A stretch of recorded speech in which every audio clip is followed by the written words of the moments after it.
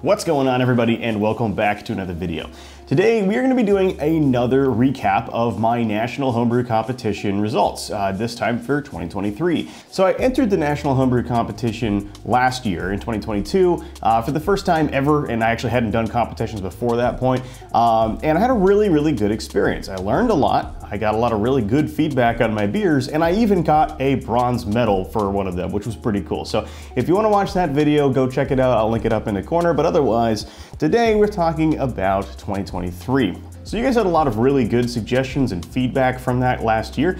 And one of the biggest ones actually was saving a beer in the exact same form that I packaged it for the National Homebrew Competition and also like storing it in the same way it would be stored at the competition and serving it in the same way it would be served at the competition, which is pretty much guaranteed not to be cold. So this year, instead of just reading the results and contemplating them, I'm actually going to taste the actual submitted beer uh, side by side with the results. That is gonna help me understand a lot more about what the judges are saying about the beer and will help me really frame their comments in a much better way, I think. But I will also be explaining a little bit more about how to get into this competition and how it works. If you wanna just go ahead and fast forward to the beer results, feel free. I've marked timestamps for everything down in the description. The National Homebrew Competition, though, is the world's largest beer competition. And just because it's the United States National Homebrew Competition doesn't mean that it is uh, only for citizens of the US to compete in.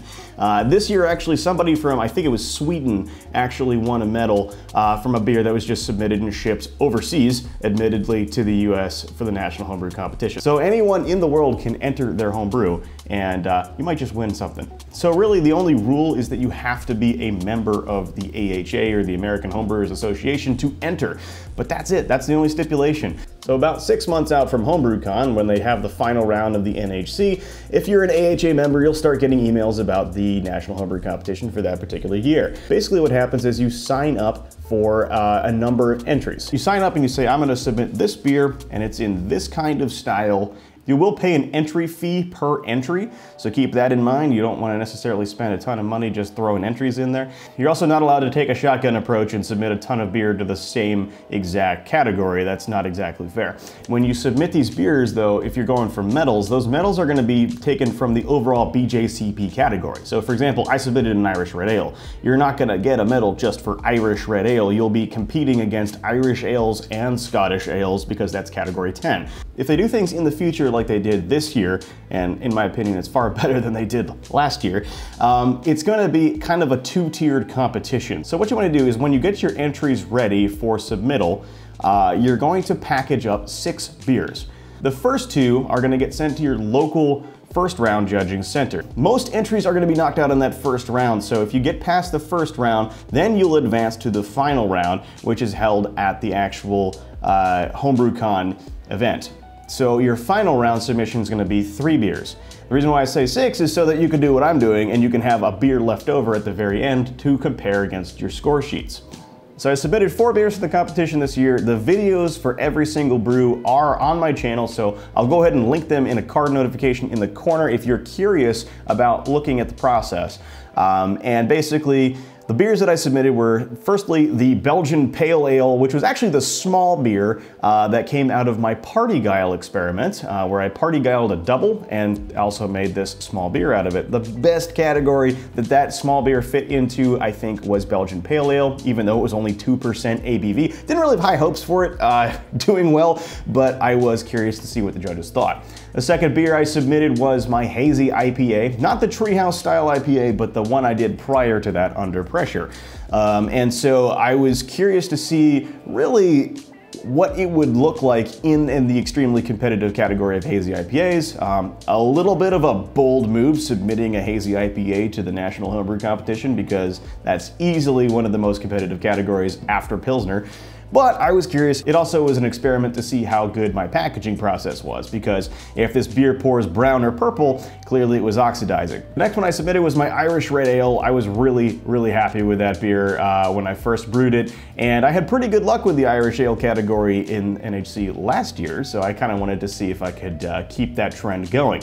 And the final beer I submitted was my American or Robust Porter, um, so I felt really, really good about that beer. It was a solid, solid brew, and um, I honestly felt very, very confident that it was gonna go pretty far in NHC. So I'm not gonna give you guys any spoilers right off the bat. You're just gonna have to watch the video and find out how well I did. So the first beer on the list is the Belgian Pale Ale, uh, AKA the small beer from the Parti-Gyle. You can find the video for this beer linked up in the corner. This is uh, not a beer that I have tasted in about six months, so it should be very interesting to see uh, how this has aged. So no idea what to expect. I really have no idea what to expect for all of these, to be honest. A lot of carbonation in that. Oh my God, all right.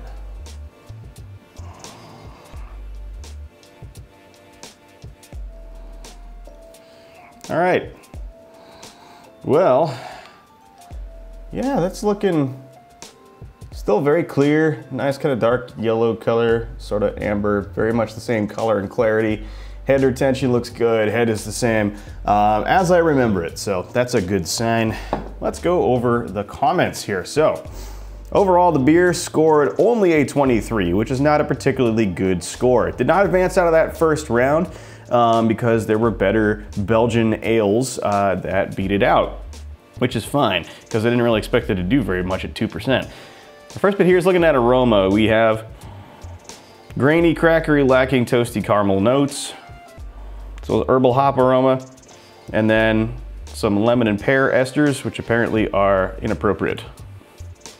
Also, he says there is a low butyric acid off aroma, which is like, that's a horrible flaw, by the way. Butyric acid, if you haven't watched my off flavors video, is the baby vomit character. It's usually present as a result of an infection, and it is a very strong flavor that requires a very low flavor threshold to detect, um, and it generally will ruin a beer. So that's disturbing. I really hope that that's not in here.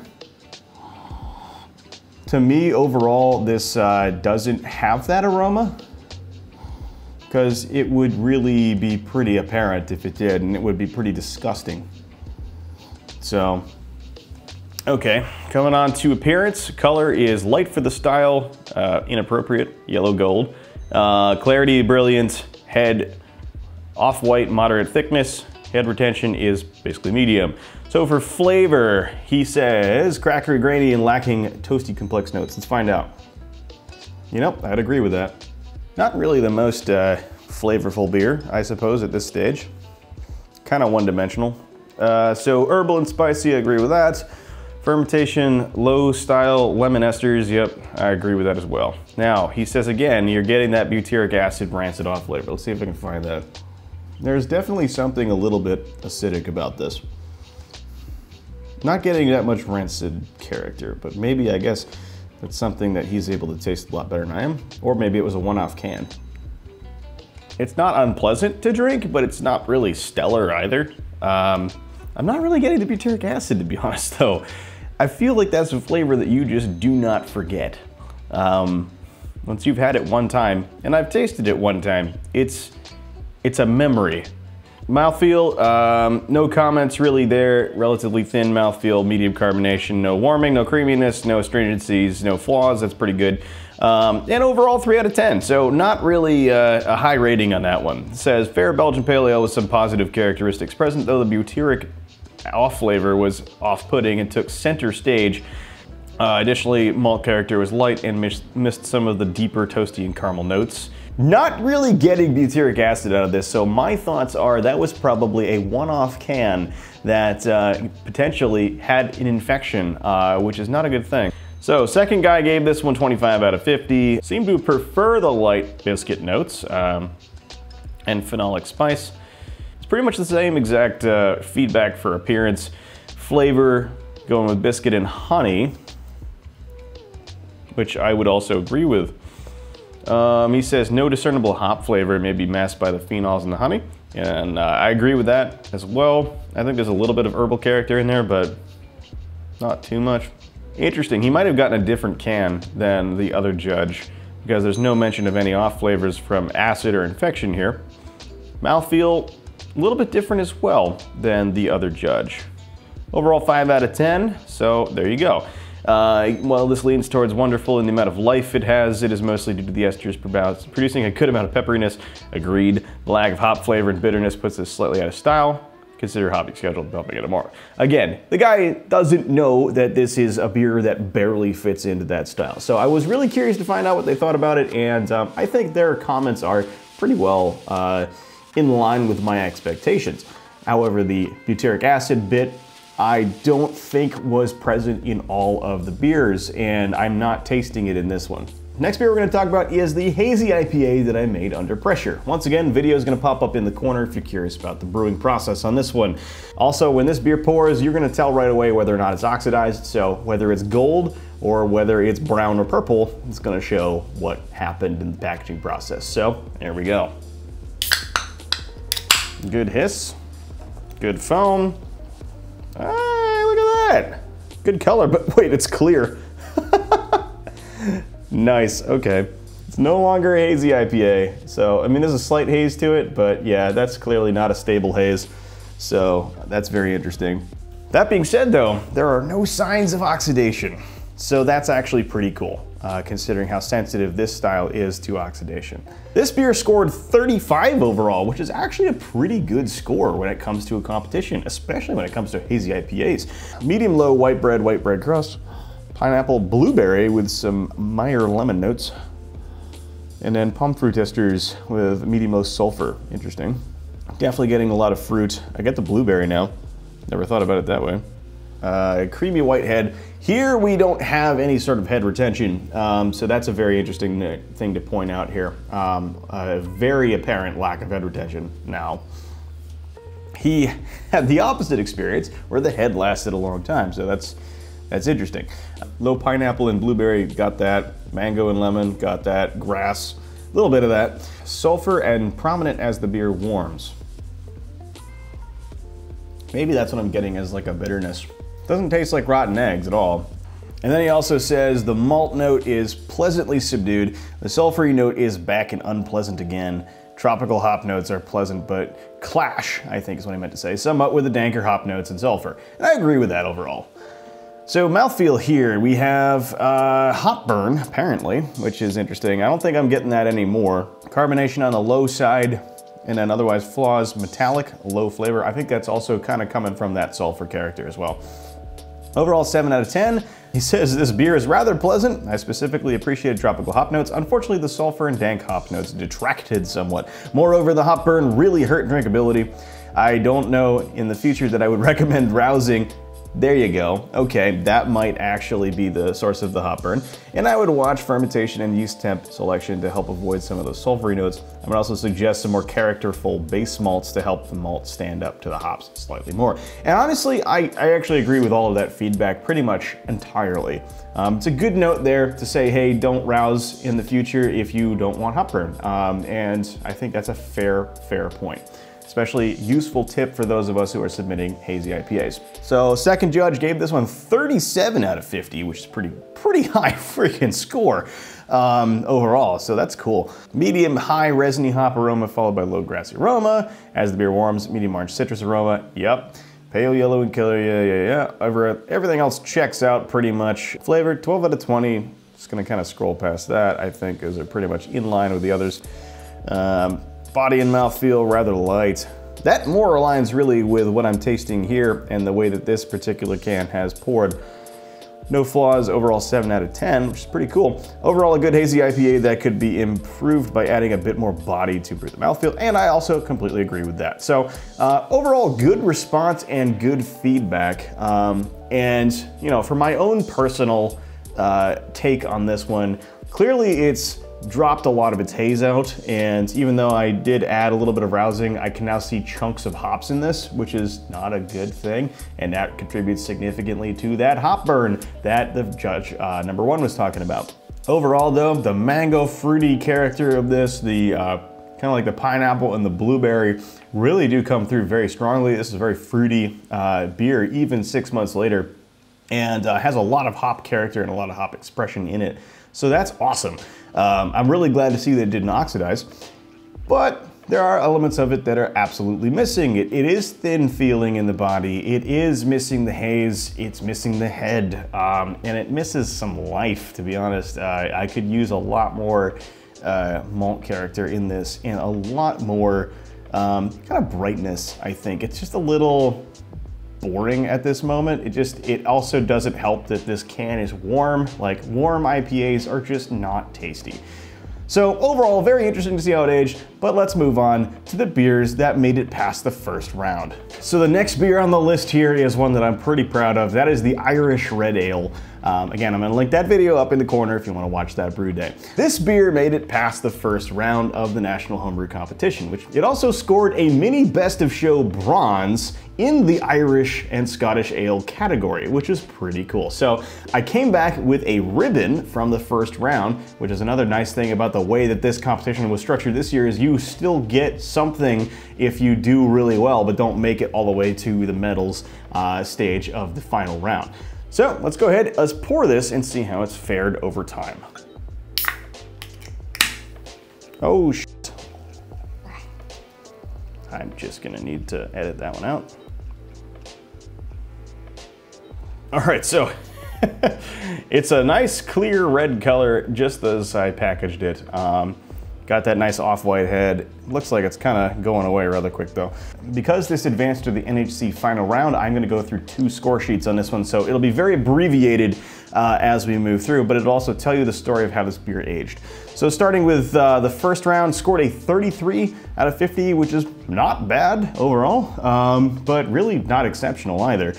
So judge number one gave this one a 33 as well. Um, and yeah, we're getting light notes of light caramel and tobacco, um, a low earthy hop note with light herbal notes, and then pome fruit and fleshy red apple, which I would agree with. Um, so yeah, amber color, he said there was slight chill haze in it. Um, I'm not getting any chill haze. Thin white, but then again, my beer is also very warm. Uh, thin head of fine white bubbles lingers along the edge of the glass, so definitely loses that head retention rather quickly, and is also what I'm observing here. Uh, for flavor, we have light notes of dark bread crust, otherwise neutral. The up front with a herbal character, medium high hop bitterness, accented by the dryness. Alcohol presence a touch too high for the style. I'm not getting any of that.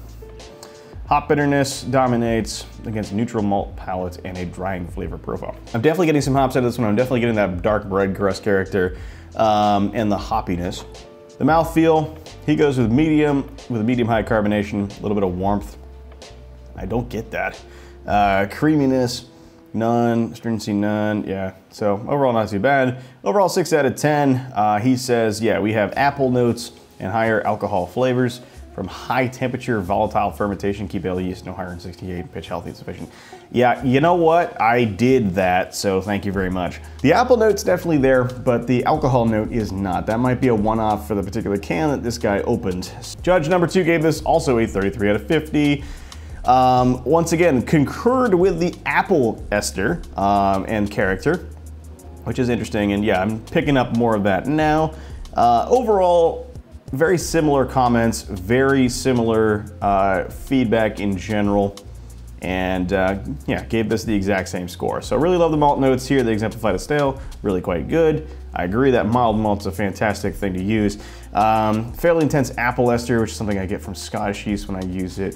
Whatever yeast was used, consider a less characterful one and fermenting it colder. Uh, once again, I use the Irish ale yeast on this guy, which is exactly what you should be using for this style. You wanna go cleaner? Yeah, ferment it colder. I fermented mine pretty low, but maybe next time I will ferment it uh, closer to like 62 and keep it really, really cold. Um, the bitterness can be bumped down and touch more hop character would be welcome and would dry the beer out. So again, another interesting thing to think about is that hop presence was uh, high for one judge and low for another. Overall though, this beer is actually pretty tasty, so I'm gonna go ahead and top that one off and finish it. Let's move on to the final round uh, feedback for the Irish Red. So this one actually, score went down a lot. Um, so we're looking at 24.5, which is not a good score um, and is absolutely the reason why I did not medal. We have a lot of feedback saying that this beer oxidized. We have muted malt cardboard, cherry cola, and papery flavor and I 100% agree with him.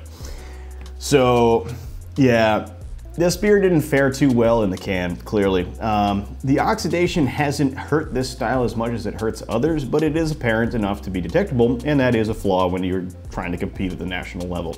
Again, lack of hop character. Uh, we have low diacetyl and plum. I get the plum. Maybe I get the diacetyl. I guess maybe if you're really hunting for it, but that is their job. And an odd chlorine plastic note lurking in the background.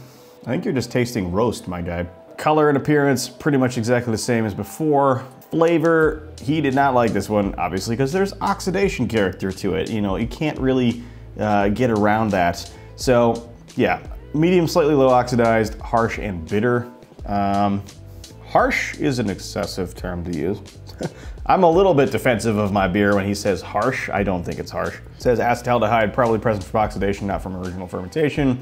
Um, touch of residual sweetness and uh, definitely agree with that. The sweetness is amplified when you have that oxidation character, so that's definitely something I would not be surprised to see. And then yeah, marked a lot of flaws on this one, so it didn't age well. Overall feedback, would have loved to have this beer fresh. The bones seem good.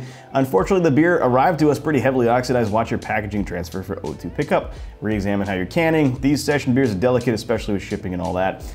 Cannot agree more. I'm telling you, shipping and packaging is a make or break for NHC. Uh, so judge number two gave this one 24 out of 50. Uh, cola on the nose. Right off the top, this came out with cola, likely oxidized, yeah. No other really disagreements with the first judge here. It all really is pretty much the same feedback. I think this was a very good beer that got damaged in packaging and was relatively oxidized. This really impacted the flavor and aroma significantly. I'd like to try this one fresh though, thanks. You're welcome. Um, I'll do better next time. So for my own feedback, I completely agree with the judges on this one. The beer looks beautiful. Um, the head retention is dropped again, probably due to the oxidation. But yeah, there's an obvious oxidation character to this. It is uh, very one-dimensional. These beers tend to do better when they're warmer and it's not really helping this one. It comes through with that classic cardboard character and the kind of like artificially sweet sherry notes that you get from oxidation. It's kind of a damn shame too because my hazy IPA was not oxidized but this one got oxidized. And I'm like, come on, man. Overall though, the bones of it, as the first guy said, are good. You can tell it once was a good beer. It's got some really rich maltiness to it that would have come out more. The hop characteristic that I first had uh, when I first tasted this beer is gone. Um, it's a shame to see that it has gotten to this point, but it's still not horrible. Um, so I'm gonna go ahead and finish this one. Okay, and now it's time for the final beer that I submitted, the American Porter. So you'll find again the video for this one linked up in the corner. So of the four beers that I submitted to the competition, this one easily did the best. Uh, so it actually advanced out of that first round, winning a silver mini best of show uh, in the category of American Porter and Stout. So that's a pretty cool thing, and I'm very proud of that fact. It unfortunately did not go on to medal at the final round. It did not advance out of the, uh, the first table. So once again, we'll be going over two score sheets here, one from the first round and one from the final round, and uh, we'll dive into it. So without further ado, the final beer, the American Porter. That's a lot of carbonation. Actually, I've done the best job pouring this one so far, so that's nice. And because it's the final one, I think I'm just gonna pour the whole glass. Head is fading real quick on this guy. All right, wow. And here we are. Nice jet black color, dark brown maybe, dark brown head. All right, so when it went through the first round, it got a score of 34, which is pretty good overall. Um, again, not really amazing, but pretty good. So first guy gave this one 33 out of 50. Uh, we have toasted bread, low cocoa note, low black coffee, low earthy hop aroma, and clean fermentation. Otherwise, low oxidation aroma, and other aromas are quite subdued overall. Agree with the aroma being subdued. Wow, I don't get much of anything. Okay. Moderate tan foam forms tiny bubbles but dissipates quickly. Agree, that's exactly what happened here. So for flavor, heavily toasted bread, low baker chocolate, low black coffee, low dried dark fruit, earthy woody hop flavor but quite low. Medium and low bitterness is low for this style. This is a robust porter, it's supposed to be bitter and hoppy. Fermentation is very clean. Malt dominates the balance here. A bit more malt contribution would be welcome. Wow, that's changed a lot since I last had it. That's a shame. That's not nearly as good as it used to be. So for flavor, I really do agree with everything he said here. Um, I can pick up on every flavor he pointed out, except for the fact that there is now a very strong oxidation character in this. Overall, 5 out of 10. He says, This is a tasty beer, nice work, a bit more roasted character, hop bitterness, and hop expression would all be welcome to boost the intensity of the beer. As it currently sits, the balance here seems more reminiscent of an English porter because I used the English yeast, right? Not the American yeast, which would have gotten out of the way, allowed those hops to express themselves more, and also would have increased the amount of roastiness and astringency that you would get from that roastiness. Um, so 100% agree with that feedback. Still, a tasty beer that I would imagine to be a very easy drinking pint. Yeah, when I made this beer, it really fits in between English Porter and American Porter because it's not as hoppy and as bitter and as intense as an American Porter, but it's also not as light, smooth, and chocolatey as an English Porter. It's somewhere in the middle. I did not expect it to do as well as it did in this particular category, though. There's definitely something to be said about using that yeast anyway, but that's a, that's a whole other conversation.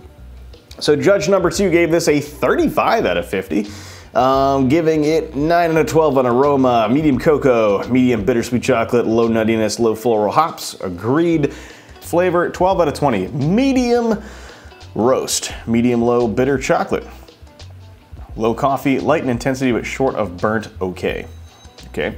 Uh, yeah, pretty much everything here is exactly the same, I would say, as the first judge. Kind of a similar uh, theme here overall. Overall, 7 out of 10. Delicious beer. Thank you for sharing. You're welcome. Uh, to improve your score, feel free to increase the complexity of the malt bill for a greater variety of flavors. Increase the carbonation slightly to improve head retention. Also consider some high protein malts and can increase the hop character. Definitely increase bittering hops. And so yeah, overall I completely agree with that. You, when you're talking about American Porter, you absolutely need to have a strong bittering character in there. I think I had that at the beginning, but it needs to have a little bit more punch to it to score higher in terms of the style. I would also, yeah, I'd throw in a little bit of like flaked barley or something in there to really get that mouthfeel bumped up. So moving on to the final round scores 34. Uh, it's the exact same number as that was in the first round, so that's pretty cool. So first guy gave this a 35, saying medium high fruity ester with low tartness perceived. Appearance is in line with the other judges from before. Moving on to flavor, 14 out of 20. We get some apple character, which is interesting. This is now more in line with what I'm tasting right now. Lasting earthy black dirt hop flavor. Also getting that. Not sure about dirt, but definitely earthy. Um, and then, yeah, medium apple flesh fruitiness with low lactic acidity. So lactic is a very interesting thing to say about this beer. Um, not something that was present in the first round comments at all. So let's see if it's still in here. There is an acidic uh, character to this.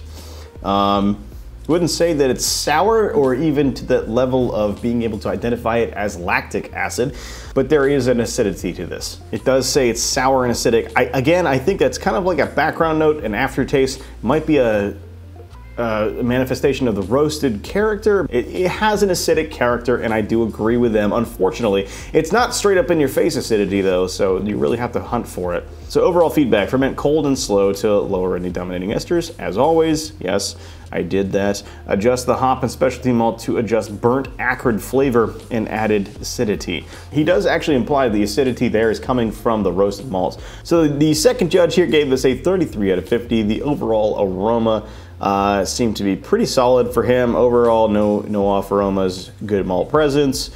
Uh, color in line with the other guys. Um, flavor 13 out of 20. Not as biscuity as it smells. That's interesting. Finish and aftertaste. It is dry with lingering roast. That is 100% correct. So the bitterness in this particular example comes more from the dryness and the roast than it does from hops. He says there's something in the finish that's slightly tart, perhaps lactic. Mouthfeel 3 out of 5. Slightly astringent. That astringency, I think, has been kind of uh, amplified by some probable oxidation.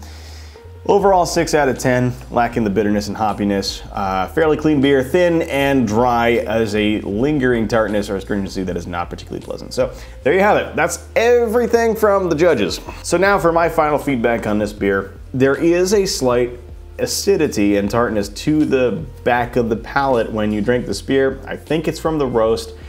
It does not help that this beer finished dry or feels like it finished dry. So overall, I'm actually pretty happy with how my beers did in the grand scheme of things. No, they didn't go on to win any medals beyond the first round, but they were overall competitive. The main culprit here, the main problem is oxidation, and I can taste it in this particular beer. If you knew what this beer tasted like, and you tasted it before it's in its current form, you would have absolutely nailed this thing with oxidation.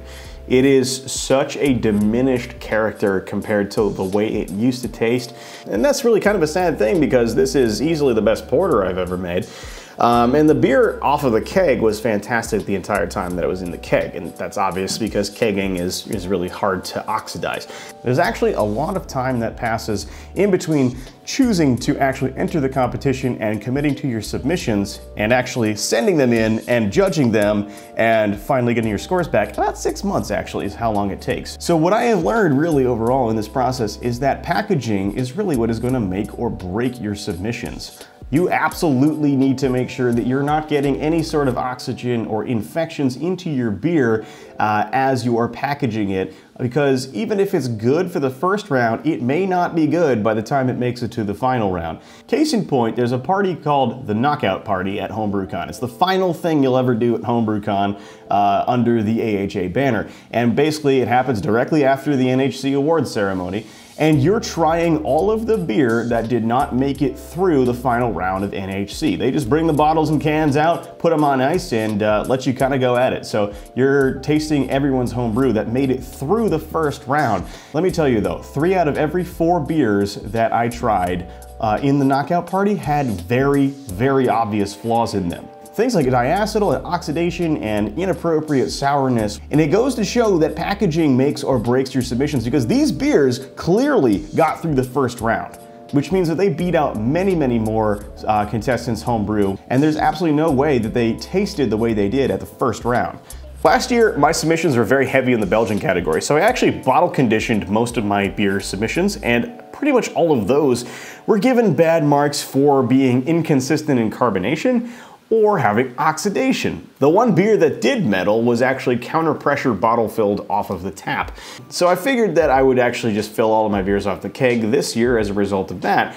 And uh, I made the decision to submit cans this year instead of bottles because last year I paid a pretty penny for shipping just due to the weight of bottles. To fill cans, um, there are counter pressure can fillers out there. They do exist. Um, I don't own one and I don't really have a desire to own one because I don't really have a need other than this competition for canned beer to last a long time. That being said, I did use a tap cooler to fill the cans, and that is more than enough to get the job done because filling cans really is a matter of purging the can from the bottom up with CO2, which you do with the tap cooler, and then just filling it and capping on foam. And I did that for all of my submissions. The idea behind this is that you minimize headspace and that foam is all CO2, not oxygen, so you really don't have any oxygen pickup when you can this way. That being said, still was oxygen that made it into the beer somehow, so uh, evidently that it was not the case. I think next year I'm just gonna have to eat the cost and counter pressure bottle fill. There's less surface area exposed to the headspace in a bottle versus a can, and there's less headspace volume in general, I think, in a bottle as opposed to a can. Combine that with the ability of the tap cooler to actually counter pressure bottle fill. You get to keep your carbonation in there as well. I think it's kind of a no-brainer. This is just how we're gonna have to do it in the future. Even though I didn't win a medal, it was still a fantastic experience to be a part of the whole thing and uh, really connects you to the, the phenomenal community that we are a part of as homebrewers. There's actually a lot of people I know that have entered the competition for the first time ever and walked out with medals. So really, honestly, if you haven't tried it before and you want to, you're just kind of intimidated by the whole national level thing, don't be. Enter your beer and find out how it goes because you might actually medal. I hope you guys enjoyed the video. I hope you appreciated the honesty that I dropped here today. Uh, packaging is gonna make or break your beer, and the once great beers that I had uh, died in the can. So um, this one kind of goes out to them. May they rest in peace. But otherwise, guys, I hope you enjoyed the video and you learned something. And if you did, please go ahead, hit the like button and subscribe for more future content like this. Don't be afraid to comment down in the comment section. There's a lot of wisdom there, so I'm sure there's a lot of good feedback and a lot of good advice that's gonna be dropped down in the comment section for this particular video. So pay attention if you're out there and you wanna compete.